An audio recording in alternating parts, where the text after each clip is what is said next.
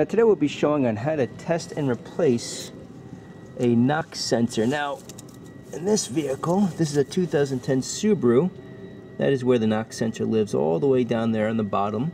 And to get to this, on many vehicles, usually you have to remove something to get to the knock sensor. In this case, we had to remove the air intake chamber, which was really only a couple of uh, hose connections, a couple bolts, and that's it. I have a separate video showing on how to do that. But that being said, once you have access to that sensor, we just have a bolt holding it down. So we'll uh, go ahead and remove that, and we'll test it using a multimeter.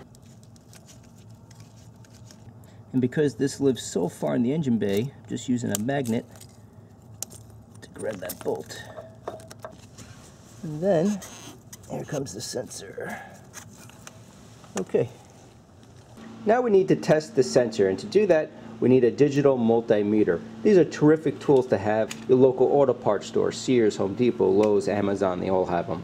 And on most sensors, to test them, you need to see or measure the resistance, which is an ohms test and that's the omega symbol that you see on the multimeter.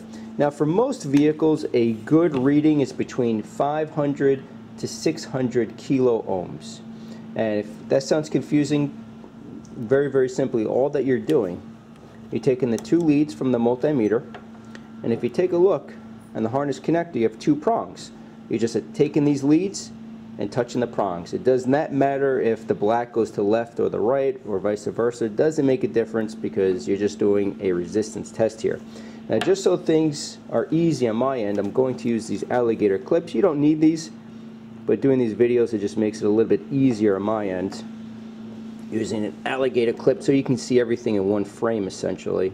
Otherwise this thing will be scattering all over the place. And let's see what we come back with here. So as you can see, we're getting 0.56 mega ohms. If you do the conversion to kilo, it's 560 kilo ohms. So this is in good shape. Now, for this specific vehicle, a good range, again, is between 500 to 600. Subaru recommends replacing the sensor if it drops below 500 or goes above 600.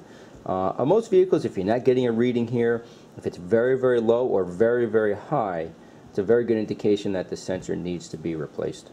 And when you reinstall the sensor, you want to have it in the same orientation as the old sensor. And I also used a magnet just to get that bolt in there. But that being said, tighten it down. We'll reconnect the sensor and uh, put everything back together.